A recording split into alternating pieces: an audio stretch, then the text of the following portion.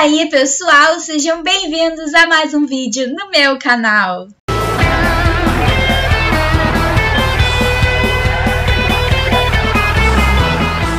Fala, galera tricolor, mais um vídeo no ar.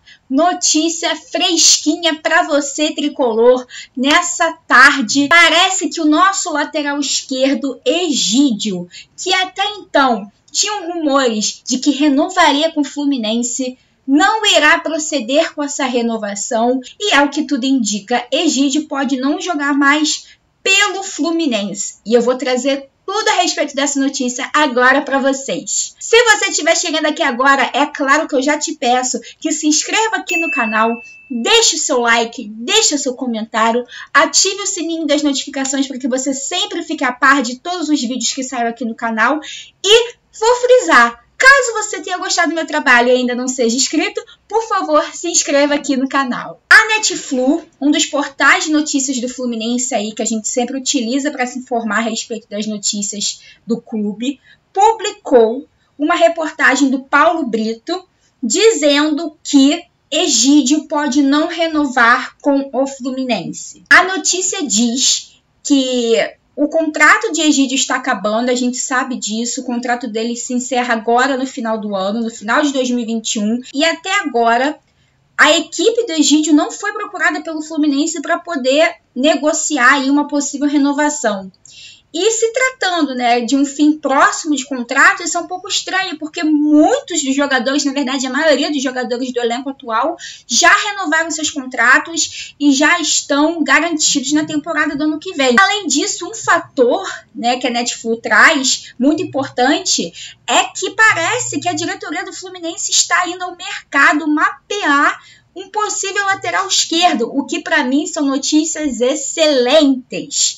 Então, o que tudo indica, é que realmente Egídio pode não renovar com o Fluminense. Lembrando que isso é uma suposição, tá? É o que tudo indica. Ninguém está cravando nada, nem mesmo a reportagem da Netflu. E aí você deve estar se perguntando, mas existem nomes, existem, enfim, cogitações e não, a matéria não traz nenhum nome, a matéria não traz nenhuma cogitação. Mas eu confesso que eu fico muito feliz em saber que o Fluminense está procurando um lateral esquerdo, porque, pelo amor de Deus, na minha opinião, eu acredito que na opinião da maioria dos torcedores, é o setor mais defasado do nosso elenco atual. E é o setor que precisa de reforços urgente. Eu espero que a diretoria consiga trazer um reforço à altura e que a gente possa melhorar o nosso empenho na lateral esquerda, porque realmente é um setor problemático. Eu sei que está se passando pela sua cabeça agora, Giovana, mas e Danilo Barcelos e Marlon e até mesmo Jeff Té? Pois é, Danilo Barcelos já está garantido na próxima temporada, o que para mim é um absurdo, isso não deveria acontecer. Mas já podemos contar com ele para a temporada de 2022. Inclusive, eu prefiro Egídio como lateral reserva do que Danilo Barcelos, tá? Mas Danilo Barcelos já está no elenco de 2022. Agora, a reportagem da Netflu traz o nome de Marlon e diz que apesar dele estar disponível pelo técnico Marcão e apesar do Marcão já ter dito publicamente, né, que ele vem bem nos treinamentos, o jogador ainda não é utilizado. E aí a gente não sabe se é uma questão técnica, provavelmente sim, é uma, uma preferência técnica do Marcão, mas ele não vem sendo utilizado. E o Jeff Té, pelo que a reportagem diz, o garoto, apesar de ser promissor, ainda é reserva na sua categoria atual, na categoria de base, e não demonstra que está pronto para assumir um papel na equipe titular. Na equipe titular, que eu digo na equipe principal, na equipe profissional do Fluminense. Então, temos aí sim duas possibilidades já dentro da nossa casa, mas que é o que tudo indica, a comissão técnica está optando em não utilizá-los. Tanto Marlon como o Jefté.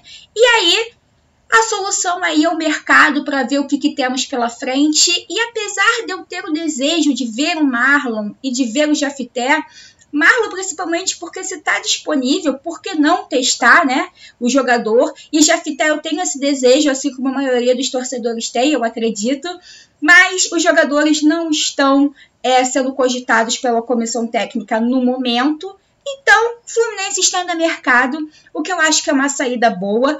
Eu não excluo essa saída, apesar da gente ter possíveis soluções dentro de casa. Eu não excluo essa saída e eu espero que o Fluminense faça um investimento legal com esses jogadores que estão saindo do Fluminense, né? Esses salários que acabam de certa forma, sendo um certo investimento, porque com a saída do Nenê, com a não renovação do Egídio, a possível não renovação do Abel Hernandes, a gente soma aí uma quantia de dinheiro para fazer investimentos. Eu espero que o Fluminense traga um bom lateral esquerdo. Então, por hora é isso. Qualquer coisa, qualquer notícia que sair, vocês estarão informados aqui no canal Guerreira Tricolor. E me digam uma coisa. Quem vocês gostariam para fazer o papel de lateral esquerdo titular do Fluminense? Comenta aqui embaixo. Esse foi o vídeo de hoje, espero que vocês tenham gostado. Um beijo, saudações tricolores e até a próxima.